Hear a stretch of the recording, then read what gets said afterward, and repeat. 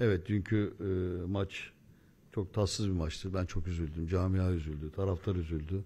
Onlar üzüldüğü için ben üzüldüm ama e, futbolun içerisinde bunlar var. 120 yıllık kulübüz. Neler yaşandı. Ama birlik ve beraberlik içerisinde olursak, sabır gösterirsek ben takımımızın çok güçlü ve hedefe sezon sonunda ulaşacağından şüphem yok arkadaşlar.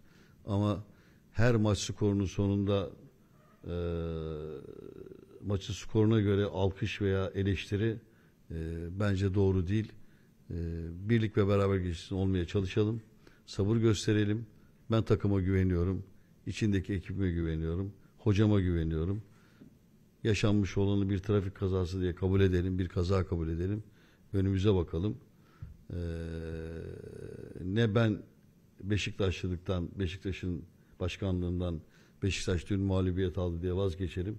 Ne Rahmi Koç Beyefendi veya Koç Holding sponsorluktan vazgeçer. Bizler bir aileyiz. Acı günde, zor günde, kötü günde, iyi günde beraber olmayı başardığımızı herkese göstermek zorundayız. Teşekkür ederim. Ha bunu cevabını biraz açtım çünkü sen işi dünkü maça bağlamak istedin.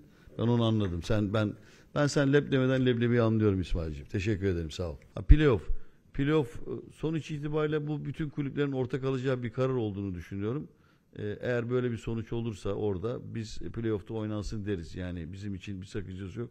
Ayrıca o da o turnuvada bir keyiftir, e, bir gelirdir.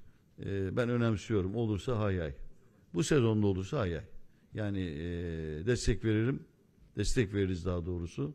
E, top oynamaktan, mücadele etmekten kaçmak e, gereksiz. Yani e, oynanacak her fazla oyun taraftarı keyif vereceği için biz bunu destekleyici oluruz.